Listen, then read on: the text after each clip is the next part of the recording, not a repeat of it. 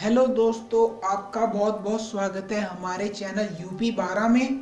और आज हमारे पास एक ऐसा टॉपिक है जिसके लिए काफ़ी समय से हमारे पास रिक्वेस्ट आ रही थी और ये टॉपिक है आर्मी के लिए डॉक्यूमेंट्स प्रिपेयर कैसे करें, यानी क्या क्या डॉक्यूमेंट्स चाहिए। तो दोस्तों, मैं आपको एक और बात बता दूँ, अगर आप इस वीडियो को शुरू से आखिरी तक देखेंगे, यानी पूरा देखेंगे तो आपको कुछ ऐसी भी टिप्स मालूम होंगी जो आपको आर्मी में जाने के लिए काफ़ी फ़ायदेमंद होगी। अगर आपको भी टॉपिक्स मालूम होगी तो आपको काफ़ी आसानी होगी, आपको कोई प्रॉब्लम ज़्यादा फेस नहीं करनी पड़ेगी। तो दोस्तों, हमारा पहला डॉक्यूमेंट्स है एजुकेशन सर्टिफिकेट। जैसा कि आप काफ़ी समझदार दोस्त हैं हमारे, और आप जानते हैं कि बिना हाई स्कूल, बिना टेंथ किए आप आर्मी में नहीं जा सकते। तो आपको टेंथ का जो बोर्ड का मार्कशीट है, आपका रिज़ल्ट है, वो तो आपको चाहिए ही चाहिए, इसके बिना कुछ नहीं हो सकता है। और जो हायर है B com B S C twelfth, जो भी आपके एजुकेशन से रिलेटेड सर्टिफिकेट, वो आपको ओरिजिनल चाहिए भर्ती के समय।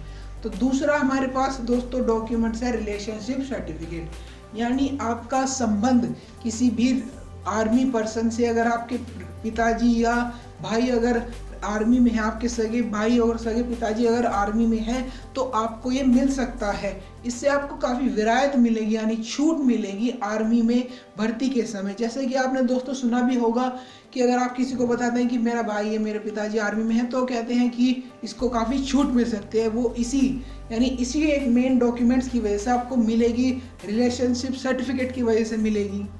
तो दोस्तों, तीसरा डॉक्यूमेंट्स है हमारे पास नेटिविटी और डोमिसाइल यानी मूल निवास प्रमाण पत्र ये काफ़ी आप आसानी से लगभग सौ, डेढ़ सौ रुपये करीबन में सी सेंटर यानी कॉमन सर्विस सेंटर ये गवर्नमेंट की एक ऑर्गेनाइजेशन है, आप वहाँ से आसानी से बनवा सकते हैं। इसमें कोई दिक्कत नहीं है।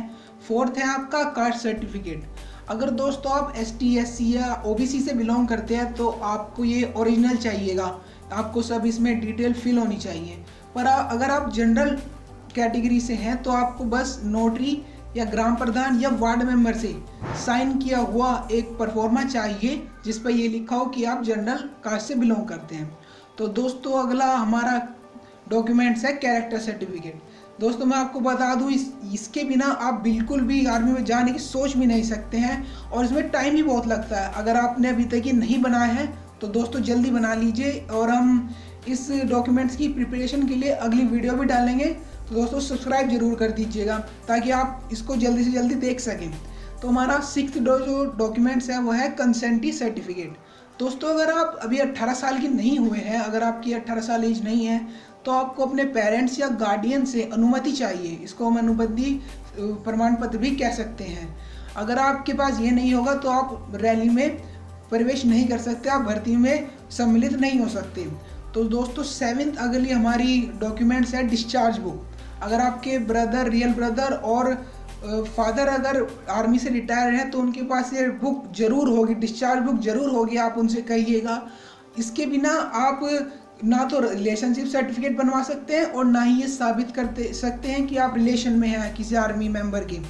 तो दोस्तों, ये ज़रूर चाहिएगा आपको आप अपने ब्रदर या फादर से इसको मांगेगा और एट्थ हमारा अगला डॉक्यूमेंट्स है एनसीसी सर्टिफिकेट यानी नेशनल कैडेट कोर्स सर्टिफिकेट। अगर आपने कभी स्कूल में या कहीं पर भी अगर आपने इसमें सम्मिलित हुए हैं, अगर आपने इसमें प्रवेश किया है एनसीसी में तो आपको एक सर्टिफिकेट ज़रूर मिला होगा। तो आपको ये साथ में लाना है ओरिजिनल। दोस्तों, मैं आपको बता दूँ, ये डॉक्यूमेंट सभी ओरिजिनल चाहिए, कोई भी फ़ोटो स्टेट नहीं चाहिए। और हमारा नाइन्थ सर्टिफिकेट है स्पोर्ट्स सर्टिफिकेट। अगर आप कभी स्कूल से या जिला स्तर पे या स्टेट लेवल पे, नेशनल लेवल पे कहीं भी भी खेले हों अगर आपके पास ये स्पोर्ट्स सर्टिफिकेट है तो आपको ज़रूर काफ़ी हेल्प मिलेगी आर्मी में जाने के लिए। दोस्तों, हमारा अगला डॉक्यूमेंट्स है पे स्लिप अगर आपके फादर या ब्रदर रियल ब्रदर अगर रिटायर हैं तो उनके पास ये ज़रूर मिलेगा। आप उनसे ये मांगिएगा।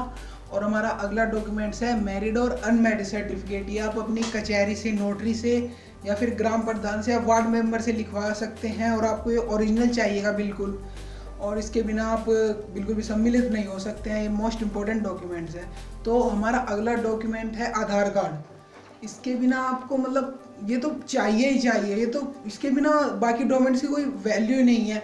इसके आपको चाहिए ही चाहिए। अगर आपके पास आधार कार्ड नहीं है तो आप जल्दी से जल्दी बनवाइए इसको।